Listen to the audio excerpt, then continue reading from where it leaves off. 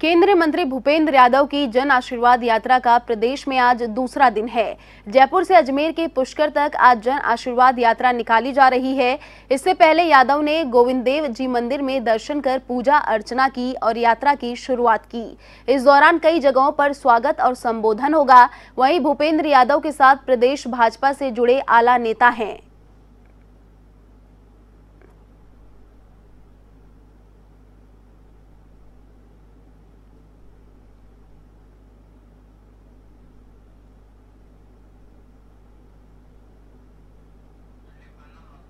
आपको बता दें कि भूपेंद्र यादव की जन आशीर्वाद यात्रा निकाली जा रही है। आज उसका दूसरा दिन है। प्रदेश में आज जन आशीर्वाद यात्रा का दूसरा दिन बताया जा रहा है। साथ ही आपको बता दें कि केंद्रीय मंत्री ने गोविंदेव जी मंदिर के दर्शन भी किए हैं। भूपेंद्र यादव की जन आशीर्वाद यात्रा। प्रदेश में आज जन आशीर्वाद यात्रा का दूसरा दिन है। केंद्रीय मंत्री ने गोविंद देव जी मंदिर के दर्शन किए। साथ ही आपको बता दें कि भूपेंद्र यादव की जन आशीर्वाद यात्रा निकाली जा रही है और आज प्रदेश में जन आशीर्वाद यात्रा का दूसरा दिन है।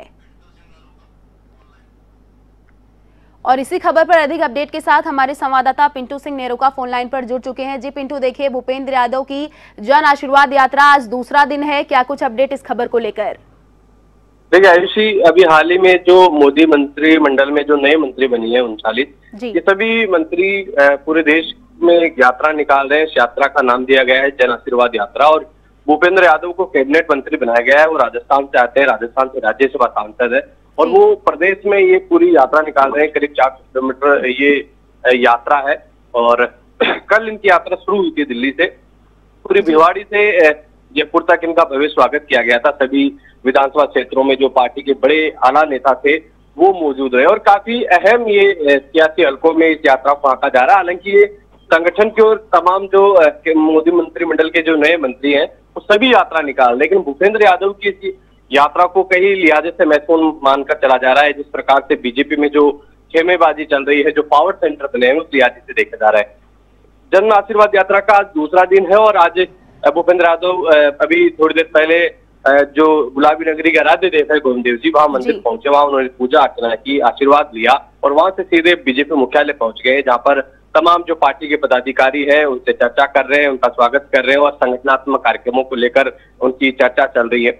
और गोविंद देव जी का मंदिर में पूजा अर्चना के दौरान तमाम जो बीजेपी नेता है, भाजपा प्रदेश अध्यक्ष सतीश पूनिया और जिला अध्यक्ष राघव शर्मा सहित जो पार्टी के पदाधिकारी, कार्यकर्ता वो मौजूद रहे अभी फ़िलहाल बीजेपी ऑफ़िस में संगठन की जो रीति नीति है, जो कार्यक्रम है, उनको लेकर चर्चा हो रही है। संगठन महामंत्री चंद्रशेखर सहित तमाम जो आला नेता है उनसे उनकी चर्चा है उसके बाद में वो यहाँ से रवाना होंगे अजमेर के लिए। अजमेर के लिए रवाना जब होंगे तो एक पूरा काफिला उनके साथ होगा जिस प्रकार से कल पूरा काफिला रहा। और हम्म। जगह जगह भव्य स्वागत उनका किया जाएगा बगरू में किया जाएगा और दूदू में किया जाएगा किशनगढ़ में किया जाएगा। उसके बाद में शाम को उनका पुष्कर जाने का कार्यक्रम। पुष्कर में एक बड़ा प्रोग्राम उनका होगा एक सभा टाइप होगी जिसमें वो कार्यकर्ताओं को संबोधित करेंगे। और फिर 21 अगस्त को अजमेर में वो एक प्रेस कॉन्फ्रेंस करेंगे, पत्रकारों से मुखातिब होंगे। तो तीन दिवसीय ये जन आशीर्वाद यात्रा भूपेंद्र यादव की है, राजस्थान के लिहाजे से काफ़ी महत्वपूर्ण है, लेकिन ये पूरी तरह से एक चुनावी माहौल लग रहा है, एक चुनावी यात्रा की तरह लग रही है। जैसे मानो कि भूपेंद्र यादव 2023 विधानसभा चुनाव के लिए एक कहीं ना कहीं आशीर्वाद मांग रहे हो। लेकिन ये अलग बात है कि पूरे मंत्री जा रहे हैं, लेकिन फिर भी यात्रा को सियासत से ना जोड़ा जाए, ऐसा नहीं हो सकता, क्योंकि जिस प्रकार से शक्ति प्रदर्शन यहाँ पर किया जा रहा है ये काफ़ी अहम है। तो काफ़ी राजनीतिक हलकों में इस यात्रा को लेकर चर्चा है और भूपेंद्र यादव ने चुनाव की बिगुल कहीं ना कहीं जन आशीर्वाद यात्रा के माध्यम से बजाने की कोशिश बीजेपी ने की है क्योंकि दो तिहाई बहुमत की यहाँ पर बात की गई है। भूपेंद्र यादव ने कहा कि अगले चुनाव में राजस्थान में भारी बहुमत बीजेपी को मिलेगा और बीजेपी पूरी तरह से चुनावी कहीं ना कहीं मूड में नज़र आ रही है जी जी शुक्रिया पिंटू तमाम जानकारी साझा करने के लिए।